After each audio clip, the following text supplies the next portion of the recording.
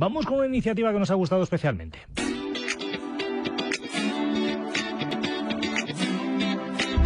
Seguramente a estas alturas, si usted es de Almoradiel, de la Puebla de Almoradiel, conoce el Almoradienses en Casa Fest, espero haberlo dicho bien, que se está desarrollando todos los fines de semana.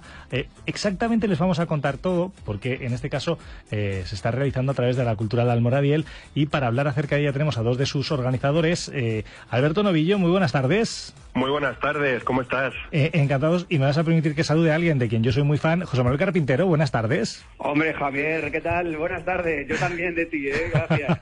bueno, conste que Alberto eh, es actor, es actor además en el Teatro de la Abadía, en la Joven Compañía, o sea, qué carrera tiene. Y a José Manuel lo conocen de sobra porque él es uno de nuestros reporteros, uno de nuestros chicos de lancha. Así que, ¿qué quieren que les diga? Yo les reconozco que aquí por las tardes lo vemos todas las tardes. Oye, eh, ¿Cómo surge la historia de poner en marcha un festival de estas características? En primer lugar, para todos los que no lo hayan visto durante estos días, ¿cómo es? A ver, Alberto, empezamos por ti.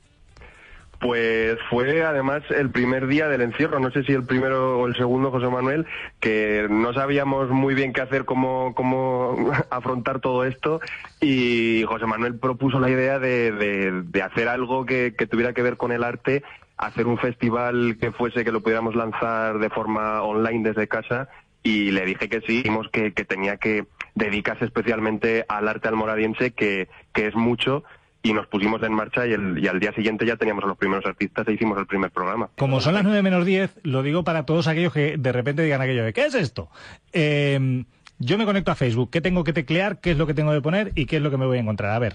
Pues te metes a Facebook, al buscador, donde puedes encontrar las páginas y tienes que buscar una que es Cultural La Moradiel. Simplemente eso, Cultural La Moradiel. Eh, si no la sigues, que seguramente no, pues le das a, a me gusta y cada noche puntuales, sea lunes, martes, sábado, domingo, los siete días de la semana, en riguroso falso directo, como llamamos nosotros, pero con un programa de 30 minutos en el que la gente de nuestro pueblo, de la Puebla Moradiel, es protagonista. Y es que tenemos muchos artistas y lo potenciamos eh, cada noche con gente que nos manda sus vídeos, nosotros eh, con, con, todo el material hacemos el, el programa y salimos eh, pues eh, cada, cada noche en Facebook, con además mucha gente que nos sigue, no solo de pueblo, sino de, varios puntos de la comarca. Oye, ¿a los primeros os costó, José Manuel, convencerlos o no? Pues sí, sí. No es que nos costara, pero sí que tuvimos que tirar el teléfono, tuvimos que levantar varios teléfonos, animar a la gente, contarle de qué se trataba, bueno, desconfiar un poquito, y sí que nos costó arrancar los primeros, pero luego todo ha ido rodado.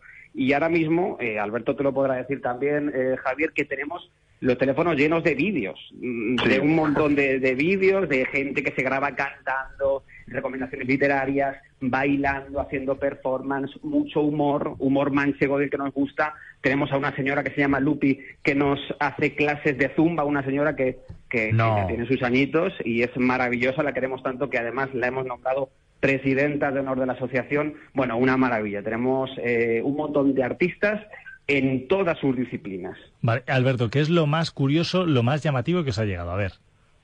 Lo más llamativo que nos ha llegado. Sí, a ver, lo de Lupi me parece que es, vamos, de chapó, ¿eh? O sea, me parece espectacular. Sí, Lupi, es, Lupi es la estrella tanto de la asociación como del festival pero luego hay, hay cantidad de vídeos, pues nos han llegado eh, monólogos muy graciosos, eh, personas que no nos imaginábamos que, que, eran, que tenían esa faceta artística, pues se han atrevido también a, mandarnos sus vídeos con, con cosas también muy, muy abstractas, muy absurdas, muy graciosas. Y, y, la verdad que sobre todo nos está sorprendiendo, llevamos ya casi 200 vídeos a lo largo de recibidos a lo largo de estos 20 días y eso para mí es lo más curioso porque sabíamos que había muchos muchos artistas en nuestro pueblo pero no que fueran tan dispuestos y, con tanta predisposición para, para, participar en este festival. Oye, ¿y se retroalimentan entre ellos? ¿Se animan los unos, los otros? les dicen aquello? Pues deberías hacer otro vídeo haciendo no sé qué. se y lo mejor, en los comentarios. Javier, que hacen colaboraciones entre ellos, porque ya se conocen los unos a los otros. Eh, estamos descubriendo mucho talento. Mira, somos un pueblo que no somos muy grandes, 5.000 habitantes, en plena mancha toledana, eh, pero sí que nos está sorprendiendo, como decía Alberto, gente que, que, no sabíamos que tocaba un instrumento, que tocaba el acordeón o que cantaba así de bien. Se están dando a conocer y efectivamente se están poniendo de acuerdo entre ellos para hacer sus colaboraciones, sus dúos. Las tecnologías lo permiten con el Skype, con distintas aplicaciones y ya nos mandan eh, muchos vídeos, incluso a Pachas, que nos gusta, nos gusta mucho. Oye, ¿y vosotros pensabais en algún momento cuando empezó? Porque me da la sensación de que al final esto surge con el, bueno, pues venga, vamos a hacer algo. En buena medida me imagino que llevados por la sorpresa del confinamiento y por el propio aburrimiento del primer fin de semana, porque ahora ya más o menos todos nos hemos establecido la rutina, pero el primer fin de semana fue, fue de perdernos todos la cabeza. Eh, ¿Vosotros pensabais que ibais a llegar a las 20 ediciones? Pues la verdad que no, y, y es difícil, pero es que estamos en pequeñito, Javier, estamos haciendo un programa eh, de televisión con todos sus departamentos, con toda su estructura, la reunión de escaleta, la búsqueda de contenidos, el departamento de producción, el plato que me he montado yo en casa, Alberto que se encarga de la parte más artística, buscando a gente que colabora cada noche desde otros puntos de España, artistas invitados que tenemos. Se nos ha ido un poco de las manos, porque empezamos eh, de una forma muy espontánea, como, bueno, a ver qué podemos hacer, cómo podemos poner nuestro granito de arena, lo nuestro es el arte, la comunicación, y al final, pues, mm, como bien ha dicho Alberto, 20 programas con muchísima participación y, bueno, pues eh, podemos hablar de éxito que no es el nuestro, sino el de la gente de la Puebla, que nos manda vídeos, que participa y que es súper activa en todo lo que hacemos desde la asociación. Bueno, como son las nueve menos cinco, os voy a ir dejando, pero antes una última pregunta para, para que nos digáis, a ver, el plantel de hoy, ¿qué es lo que, lo que tenemos?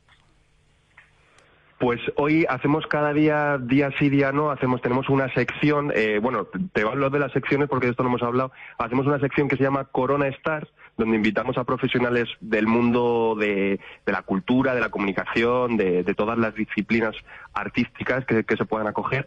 Y también hacemos otra sección que se llama ¿Qué tal vas por allí, hermoso? El hermoso es la coletilla de nuestro pueblo, donde invitamos a almoradienses que están fuera de, del país o en otros puntos de, España a que también nos cuenten su testimonio y compartan con nosotros ese arte que como buen almoradense tienes que tener.